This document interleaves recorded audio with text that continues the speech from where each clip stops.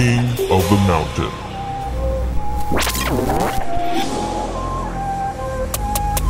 Welcome back to King of the Mountain. It's time for the final qualifying race of Tournament 2.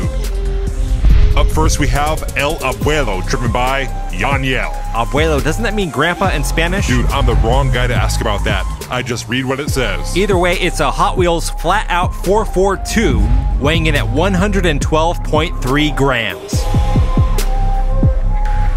Up next, we have Gold Speed, driven by Leadfoot. The Gold Speed is a Hot Wheels governor. So we have a grandpa and a governor. Apparently so. The Gold Speed weighs in at 98.8 grams. This one's kind of pushing the limits on the realistic car rule. Yeah, we'll wait till you see the next one. Oh boy. Next we have batteries included, driven by CJ of the CH Machine Shop. I mean, where are the side windows on that car? Yeah, just that one detail would make this car look a whole lot better. Batteries included is a Roger Dodger 2.0, and it weighs in at 65.5 grams. Let's see what the last one is. We've got Von Solo driven by Obi-Wan. I like the name, but what's up with this van? Seriously, are people just sending in junk now? The original retro look is cool, but come on, where's the windshield? Let's just say he's lucky he picked the name Von Solo.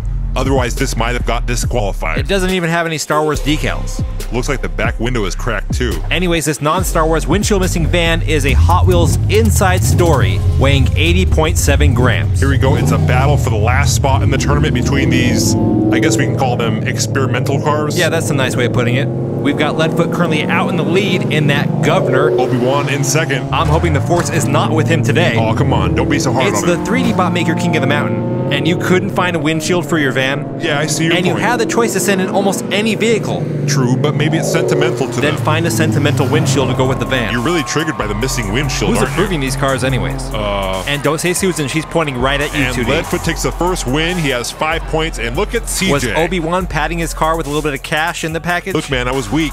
It was a Jedi mind trick. A Jedi mind trick? His form said, "This is the van you're looking for." I'm so disappointed in It you. was hard to resist. I'm not trained in the Force. Plus, there was no windshield requirement in the rules. It didn't seem like it was necessary to specify that in the rules. so but- technically, it's your fault. no, I mean, And look who just took the lead. It's Obi Wan. maybe he'll pull a McClyde right here. 3D? I'm just That's saying. uncalled for. And unfortunately, Obi-Wan has a big lead.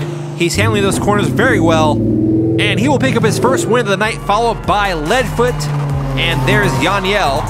CJ taking his sweet time approaching the finish. There he goes. Whoa. A little fender bender between Leadfoot and CJ. And we've got a tie between Leadfoot and Obi-Wan, both of them with eight points. There's still two races to go. Obi Wan handling those corners very well. Look at that, nice and smooth. Yeah, he is handling the track quite well, although I believe his speed would be a little bit faster Don't say it. if Come on. he had a windshield. Come on, let it go. It's got to be affecting his aerodynamics. Here we go with race three. We've got Obi Wan and CJ starting off in the front row. Right now, the race seems to be between Leadfoot in the Governor and Obi Wan in that Van. I guess you could call it that. Obi Wan out in the lead again. Let's see how he handles the corner. Leadfoot currently in second. Obi Wan taps the side wall but straightens it out right away. He's approaching the final corner. Clean out that corner. And Obi Wan will pick up his second win, putting him in the lead right now. He has 13 points. Leadfoot in second with 11 points. Yaniel with 5, CJ with 3, so those two are really out of this race. So the real competition on this final race will be between Obi-Wan and Leadfoot. Only a two point gap between those two drivers. Both of them will be starting in the back row. Obi-Wan will be starting behind CJ in the Roger Dodger 2.0 and Leadfoot behind Yaniel in the flat out 442. Who's going to take that final spot in Tournament 2 of King of the Mountain? CJ pulling ahead on the first straightaway. Obi-Wan bump drafting around that first corner. Yaniel not too far behind in that yellow 4-4-2. Leadfoot falling way behind in fourth place. CJ maintaining the lead around that second turn. He's got a Jedi in his rearview mirror. Yeah, I'm doubting he has a rear view mirror. He doesn't even have side windows. And here they come to the finish. And the fourth race will go to CJ. Obi-Wan comes in second.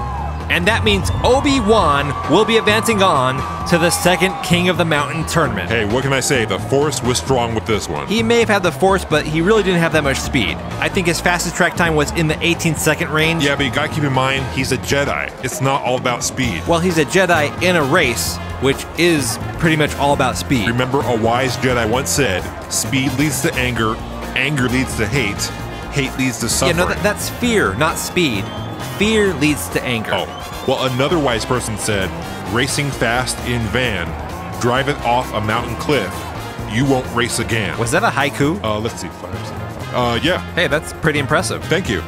And there you have it. The bracket is full. That can only mean one thing. It's time to get started with the second tournament in King, King of, of, the, the Mountain. Mountain.